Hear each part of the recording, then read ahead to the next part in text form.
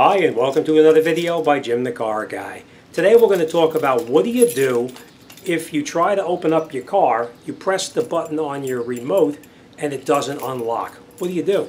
There's no more locks on the vehicles anymore. You don't have a lock here and you don't have a lock on the other side. Well, don't worry about it. It's really not a big deal. It's fairly simple to get into it. As long as you have the key, we can get into it. Now, frequently what happens when a battery goes dead in the car, your remote won't work any longer because the battery is dead in the vehicle. So you need to get into the car so you can get the, bat the hood open so you can replace the battery or charge the battery or whatever you have to do. All right, so what you're basically going to do is you're going to take your key like this, and as you remember, there is no keyhole inside over here. I'm going to show you now how to open this up. So there is a key uh, a key slot directly underneath here. So let me bring you in a little closer. I'm going to show you how to do it and we'll get this door opened up and, uh, and that'll be it. Alright, so the first thing, let's get this down here so you can watch what I'm doing. Okay, so this is the where your actual keyhole is. It's, uh, it's actually underneath that cover right there. What you want to do is you want to be real careful because you don't want to get in here with something fat such as this key and try to pop it up. But you don't want to get in here with anything real thick like this and get in here, you're going to scratch the paint.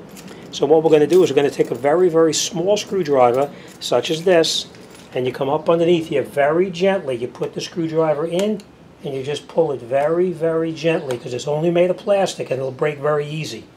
Once this pops up like this, just work it back and forth gently. And the clip comes right out. See this little tiny clip here? You don't want to break these because you won't be able to put it back on. Alright, so this goes like this. Just going to leave that hang just the way it is right there. We take our trusty key, such as this, put it in here like that.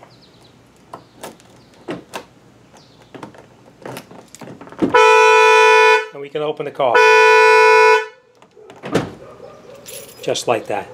Alright, and to put it back together, all you're basically going to do is you're going to take your little plastic cover like this, put it back over the top like this,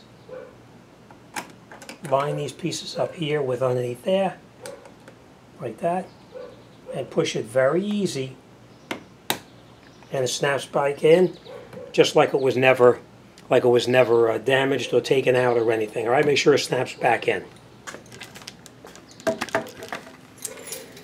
Okay, now obviously you heard the alarm ringing on this particular vehicle because the battery's not dead. The battery is actually fully charged up. But when you take your key and you put the key into the key slot and you click it on, if you click it on and off, it'll actually turn the alarm off as well. In this particular case, I just pressed my remote because there was nothing wrong with the battery. All right, so that's a quick tip just in case you ever uh, find yourself with a, uh, with a dead battery in the car or if you have a dead battery on your remote. If the remote battery goes dead too, that's also another way that you can get in to the vehicle at the same time. So this vehicle is a 2019 Hyundai Santa Fe.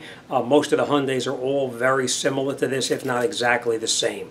Uh, whether it's the Santa Fe uh, or the uh, Sonata or even the newer, the Kona or whatever, they're all basically the same. If they don't have a key slot, there is a way to get into it. You just need to get that little cover off so you can get in there. So, uh, all right, I hope I was helpful, and as always, thanks for watching, and I'll see you on the next one.